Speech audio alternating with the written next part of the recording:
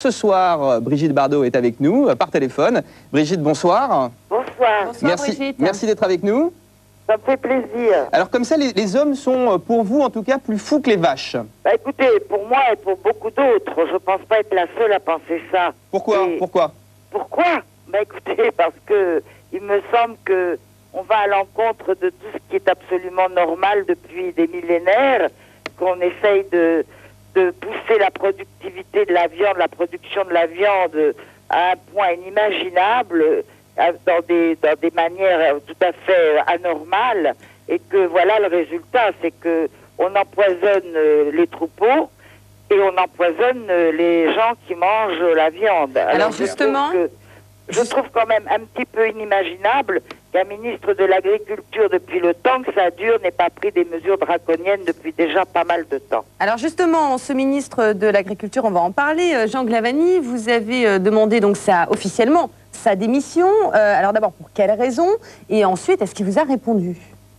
Il n'a pas pu me répondre étant donné que c'est fait, euh, ça a été fait euh, hier. Mais même pas un coup de fil euh, pour vous, Ben, vous pour savez, réagir le coup de fil de- du ministre de l'Agriculture après une lettre ouverte euh, demandant sa démission, je pense pas que j'en vais en avoir. Mais la- j'attends, j'attends surtout euh, euh, qu'on ne, qu'on ne prenne pas les animaux en otage, qu'on, qu'on ne En temps, continue si- pas Brigitte, de les sont- abattre comme ça dans n'importe quelle condition. en, en même temps, excusez-moi, mais si ces animaux représentent un danger pour l'homme, euh, il est peut-être nécessaire quand même de les mettre en tout cas à l'écart, Non, non, Bien sûr, mais enfin, pourquoi ils représentent un danger pour l'homme?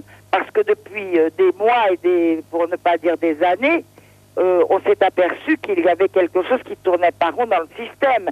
Or, ce quelque chose, c'est qu'on essaye de faire devenir carnivores des animaux qui sont herbivores.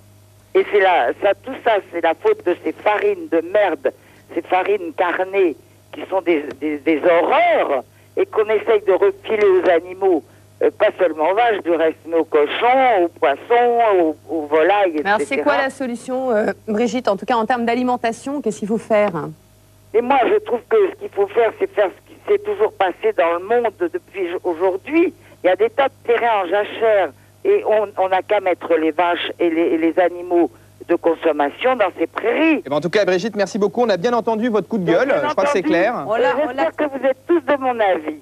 On a très En clairement tout cas, c'est noté. Voilà. Merci Merci. beaucoup. Merci. À et à bientôt. Allez, on enchaîne. euh,